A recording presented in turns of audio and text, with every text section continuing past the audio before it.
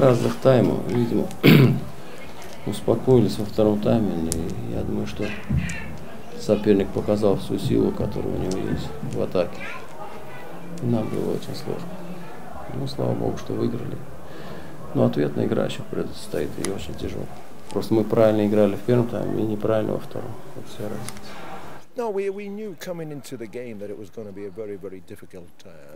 Мы знали еще до игры, что это будет очень-очень трудный матч. У нас был план на игру, но нас за него наказали двумя голами. Мы были несколько подавлены, и таким был для нас итог первого тайма. Но во втором я верил, что мы забьем, и мы сделали это. Мы завладели мячом, и нам не повезло, мы могли забить второй мяч. Мы не считаем это поражение критическим. 1-2. Это счет, который оставляет нас в игре. Мы профессионалы. Если мы хотим добиться успеха, мы должны сделать выводы из ошибок и должны быть уверены в том, что это не конец. Я понимаю, что наши шансы невелики, но все-таки я оставляю нам надежду на успех. Вы хорошо играете дома, но мы довольны собой, и мы уверены, что поражение лишь неизбежная часть сложного пути.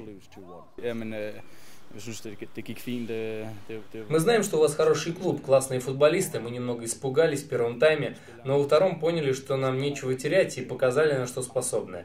В перерыве мы спросили себя, почему мы так действовали 45 минут. Обсудили это между собой. И мы решили, что можем действовать быстрее и агрессивнее, даже если победить уже не удастся.